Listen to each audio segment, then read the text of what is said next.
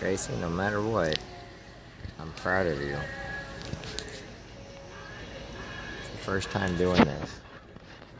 Doesn't matter if you place or not. Doesn't matter what if you even come in at all. What matters is you're really good with that horse and you love doing it.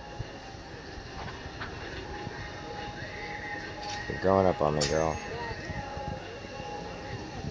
I'm proud of you. Always be proud of you no matter whatever happens. Gracie and Daddy's little girl forever. I've got you blocked right now. Sorry, the guy's trying to get over that picture over to you.